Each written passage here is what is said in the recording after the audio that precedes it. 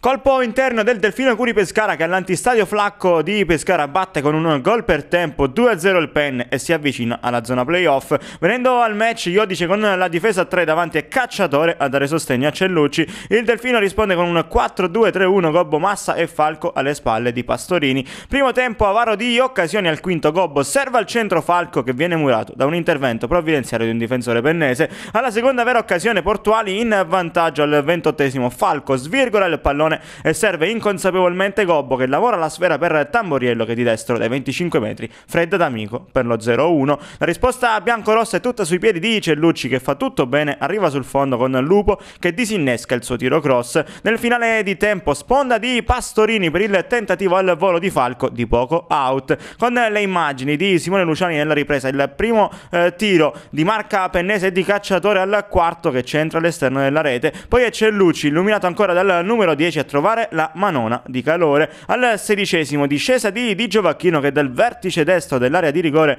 in diagonale non trova la porta. Al ventunesimo colpo di testa di Cacciatore respinge un difensore pescarese mentre nel capovolgimento di fronte Falco entra in area gran destro che si infrange sull'esterno della rete dando l'illusione del gol. Al ventiseiesimo un presunto contatto tra Viegas e Gobbo scatena una miccia tra i giocatori. Si perderà tanto tempo. Il Delfino nel finale cerca di sfruttare contropiedi, prima Rosini con il destro, non trova la porta, poi lo stesso ex della gara in ripartenza, libera di Gioacchino, destro preciso per il definitivo 2-0. Termina dunque così un Delfino Curi Pescara che vince ancora ed interrompe di riflesso la striscia positiva del Penne. Il Delfino Curi Pescara, Penne 2-0.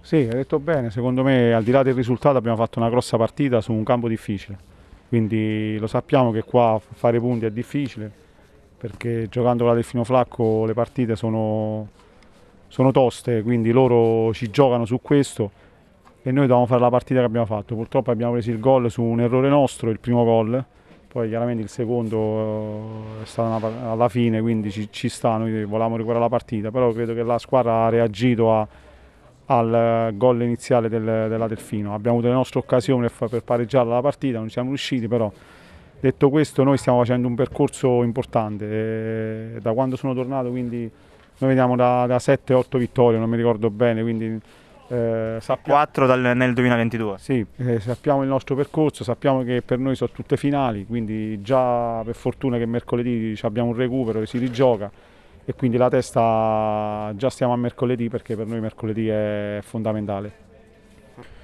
Beh, oggi credo che sia la vittoria sia molto meritata Abbiamo dato seguito alla prestazione di, di Montesilvano dove stiamo facendo vedere anche della qualità maggiore rispetto all'enorme sacrificio che i ragazzi stanno facendo. Mi sorprendono ogni volta, il, il traguardo è ancora lontano, però partite come queste ti devono dare consapevolezza che, che ce la possiamo giocare. Il traguardo è lontano, però eh, quest'oggi avete messo tre punti in cascina che vi permettono di allontanarvi ancora di più dalla zona rossa ma noi non ci dobbiamo allontanare dalla, dalla zona rossa perché sennò ci finiamo. La squadra sa eh, che deve fare un percorso, questo è un anno in cui abbiamo perso tanti giocatori esperti, cito uno su tutti che è un mio pupillo, che è Thomas Silvestri, che era il nostro capitano che, che a penne, ne abbiamo persi tanti come lui, Albanese, Tine, e, e tanti ragazzi più giovani, molto più giovani, si stanno prendendo le responsabilità. Lupo, Gobbo, Massa, Sabatini, Falco e, e altri stanno crescendo dietro loro.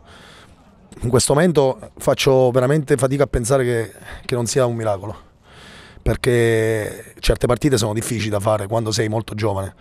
E loro oggi ci hanno messo qualità e quantità, però devono andare avanti, devono subito resettare e devono pensare che ci aspettano tante altre partite dove loro devono per forza crescere, perché anche oggi non sono soddisfatto di alcuni atteggiamenti, di alcune situazioni che ci potevano costare caro e come hai rimarcato tu dovevano farci fare un risultato diverso nel primo tempo perché poi le partite se le lasci aperte come domenica scorsa vieni punito e se avessero pareggiato loro in un'occasione, in una mischia, in una palla messa lì non ci sarebbe stato niente da dire.